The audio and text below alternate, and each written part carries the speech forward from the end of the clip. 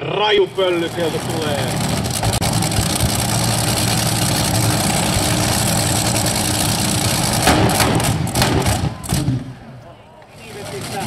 Viime kauden EM Suomen uusi auto tässä kaudessa.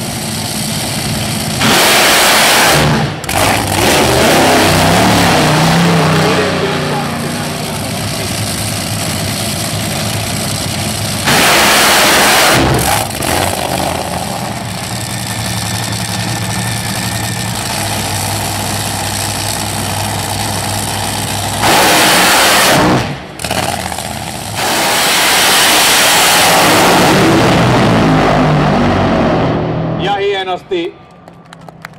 468 to Erpaher